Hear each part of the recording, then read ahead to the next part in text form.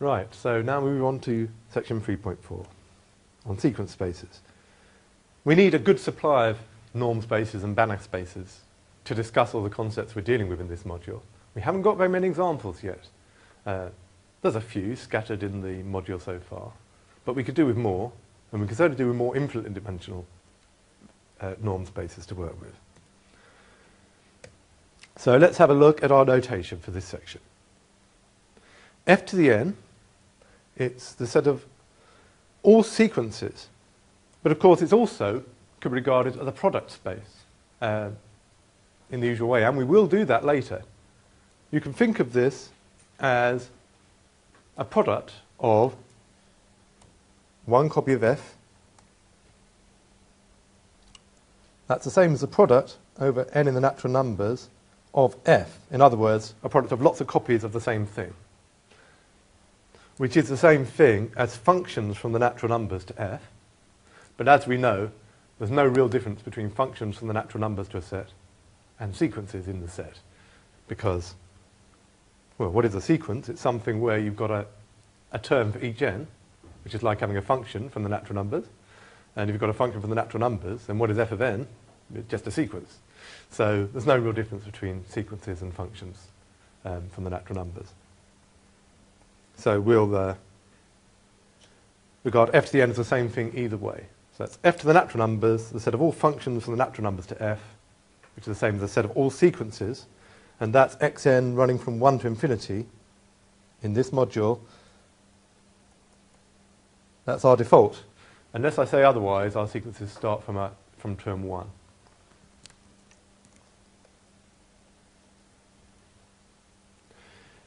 Now, the very important subspace of this, oh, I'm, assume, I'm assuming actually that you know how to add sequences together, term by term, and multiply by scalars and that you're, you're not going to be surprised that I say that sequences form a vector space. Um, that's that's uh, term-wise operations or coordinate-wise.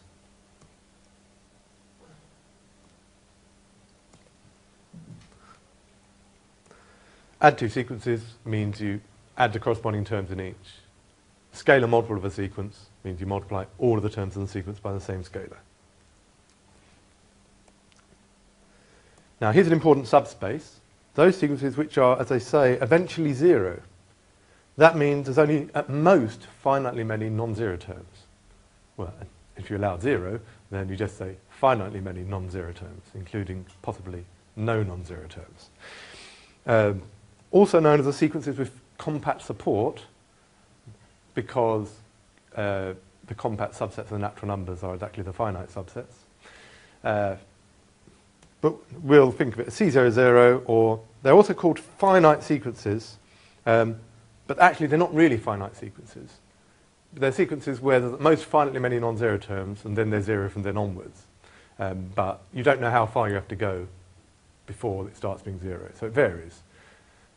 But if you add a term, if you've got one sequence which has only a million non-zero entries and another sequence that's only got a billion non-zero entries and you add them, um, then your new sequence has at most 1 billion, 1 million non-zero entries. Um, so, so here you are, it's uh, in terms of capital N, it means that there is some natural number so that from that point on, all terms are zero. And if you've got two sequences like that, you take the maximum of their n's because they each have their own n, and you can take the maximum of the two, and from that term onwards, the sum will be zero.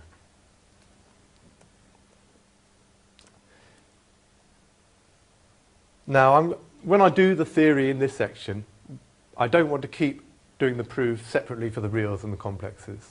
But if I do want to refer to, to tell you which case we're in, then I might say real C00 or complex C00 or something like that. And the same for some of the other sequence spaces that are coming up.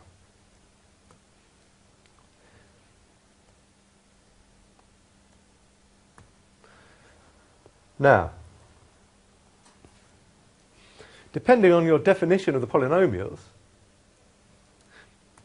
you will either say that C00 is isomorphic to, or you'll say it is the vector space of all polynomials with coefficients in your scalar field. Has anybody ever had a formal definition of what the polynomials are? What is the polynomial ring over a particular field, for example? Did anyone meet a, a formal definition, yes? I think uh, like the, it would be a a a a no a n x n Yes, until a naught plus zero zero plus zero plus zero. That's right. So there's, uh, there's finally many non-zero coefficients, and then the rest of the coefficients are zero. And uh, some people, there's a distinction between polynomial functions and polynomials. And it's an important distinction because if you're working over a finite field, like the field with two elements, you can have different polynomials which give the same polynomial function. For example, um, x squared, um, oh, let's try and get this right. x squared plus x is always zero working over the field with two elements. But it's not the zero polynomial. It's a zero polynomial function, but, it's, but as a polynomial, it's got coefficients of x squared and x, and those are not the zero coefficients. So something funny happens with these finite fields that doesn't happen with, say, fields of so-called characteristic zero, like the rationals or the reals or the complex numbers, that there is a, a real difference between the polynomial functions and the polynomials. Fortunately for us, there's not that much difference. Uh, you can prove that the uh, polynomial functions 1x, x squared, x cubed for us are independent, which isn't true um, over the field of two elements as polynomial functions. Um, x and x squared are the same.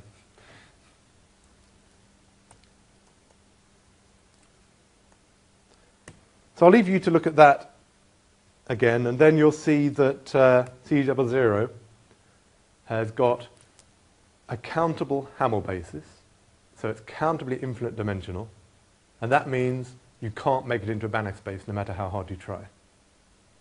Any norm you put on it will be incomplete. Now we want some more sequence spaces, and these are the ones that are going to be Banach spaces. There's little LP spaces and C sub zero. Not, and so this one is different. This one's only got one zero. So again, real or complex. And some books, by the way, put the P at the top. Um, so if you find a P at the top, don't worry, it's still the same thing. In fact, I may forget and put the P at the top. Um,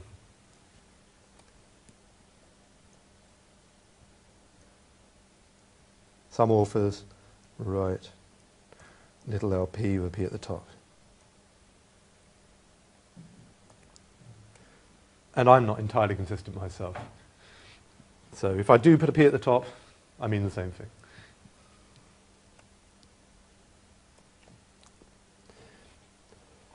Now remember, this is for p um, greater or equal to 1 and strictly less than infinity, so that you can take p powers of positive numbers, or non-negative numbers. p could be irrational, p could be pi, but usually for us, p will be 1, 2, or later infinity, um, but not infinity yet. This corresponds to the uh, norms we've already seen on finite dimensional spaces and on continuous functions. This time we're summing from 1 to infinity. And you take those sequences so the sums of the p powers of the modulus is finite. If p is 1, that just means the sum of the moduli should be finite. p is 2 is like an inner product space, a Hilbert space. It's a standard little L2. If you've done Hilbert spaces, then you'll have seen that before. And of course, then you want to define a norm. Well, you have to take the p root. So note then um, for xn in L1, um, norm xn, the one norm, is just the sum of the moduli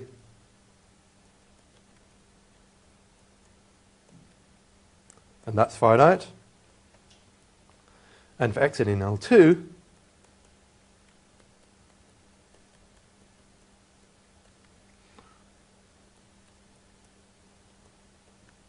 take the 2 norm, and that's the square root of the sum of the squares of the moduli.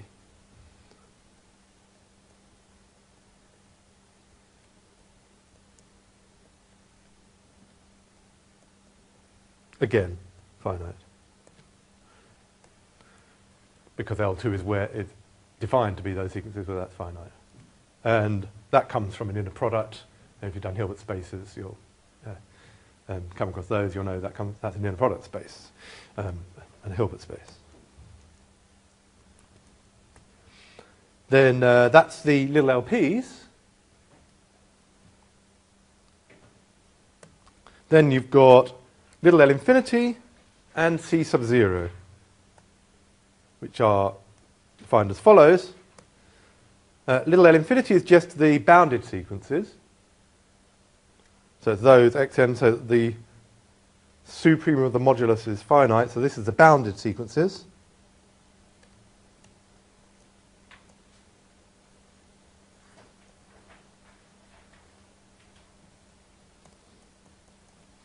And these ones are the null sequences. C0 are the null sequences, the sequences which tend to zero.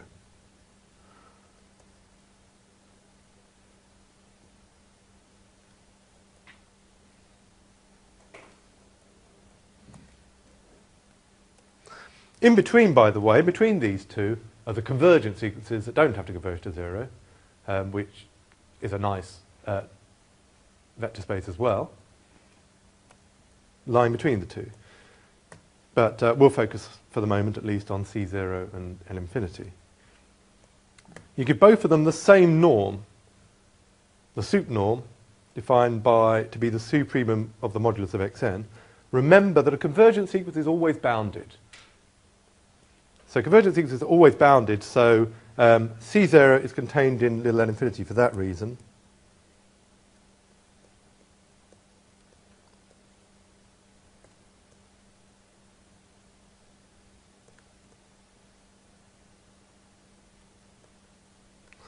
Convergent sequences are bounded, though of course bounded sequences don't have to be convergent.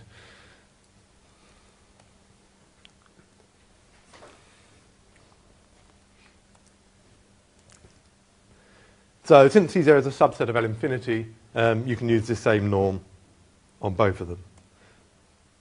One is really the restriction of the other, but that's standard abuse of notation. That's a genuine sup for little l infinity doesn't have to be a maximum. Different for C0, but uh, for, for little l infinity, it may well not be a maximum.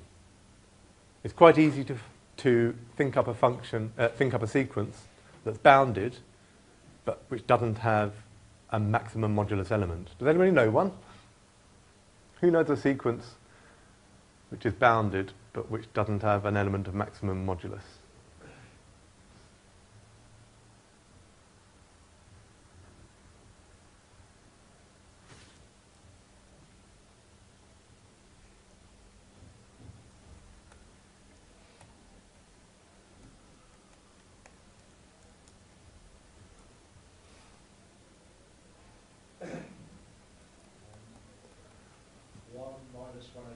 Yeah.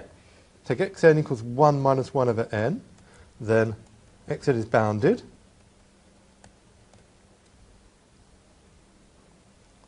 And the supremum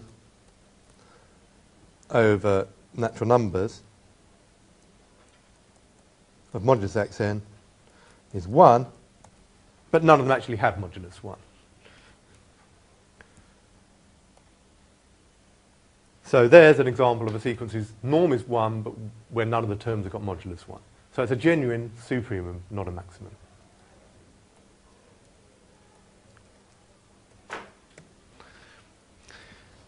Now I will leave it to you to check that L1, L2, L infinity, C0 are vector spaces. Which basically means you've got to show they're subspaces of f to the n. And I'll leave it to you to check that norm 1, norm 2, norm infinity are norms on those bases. Uh, we'll have a look at, um, and the fact that C0 is a proper subspace of L infinity is pretty easy because we've just given an example of something that's in L infinity but not in C0. Uh, it's less obvious what happens with the other P's, and I'll refer you to the books to look at the inequalities of Hölder, And Minkowski, uh, which we won't have time to look at in this module, but which are very interesting. Again, you can look in Rudin's book, Real and Complex Analysis, or other books on functional analysis. I'm not going to go through the details of that, so we will be assuming that those are all vector spaces and that these things that I've said are norms are genuinely norms. I won't prove that in this module, but you can quote that from now on. Unless, of course, you're asked in a question to prove something about them, you're allowed to assume that standard results. So, so those are what I call standard facts. So you can quote these.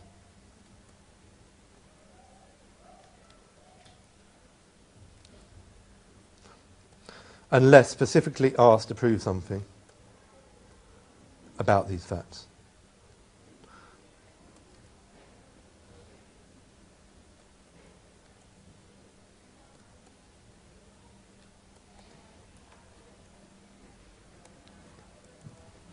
So I could set you an exercise that says, let's prove some of the details of this. That'd be the only situation in which I wouldn't let you assume these standard facts.